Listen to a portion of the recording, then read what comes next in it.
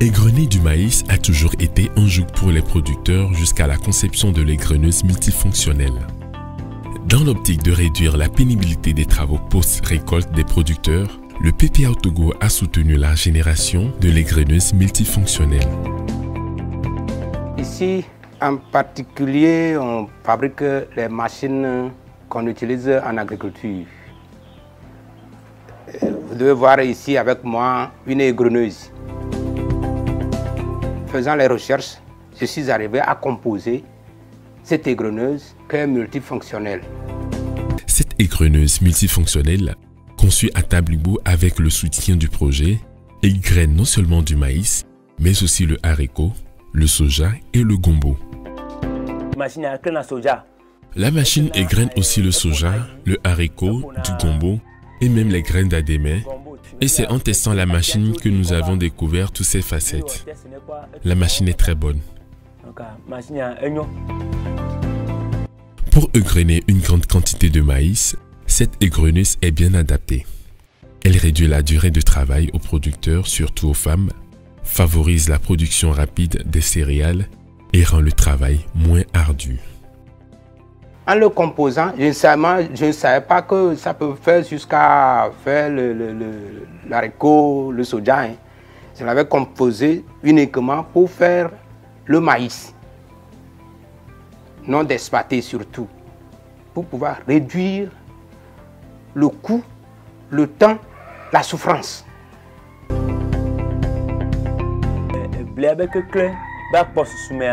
J'ai un grand champ de maïs et quand vient le moment d'égrainer une grande quantité de maïs, les bonnes dames qui les grainent manuellement prennent jusqu'à 3 semaines pour le faire.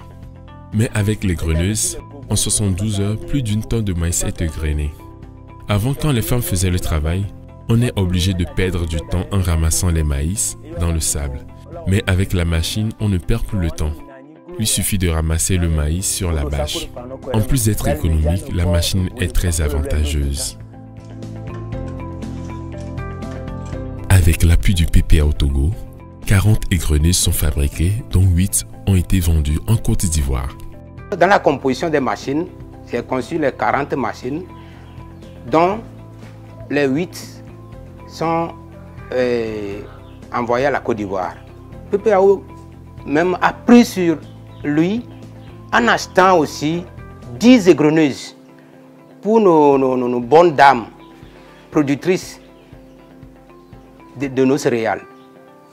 Ça, ils en ont distribué presque toutes les régions. Un litre d'essence suffit pour égrener plus d'une tonne de maïs. Sa particularité, contrairement aux autres égreneuses, c'est sa multifonction, sa résistance et sa capacité de garder la qualité des céréales. Vous avez un litre d'essence, vous devez faire banalement une heure de temps. Hein, et ça fait une heure, euh, euh, une tonne plus.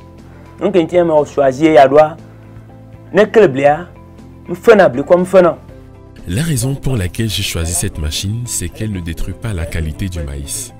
Elle reste intacte.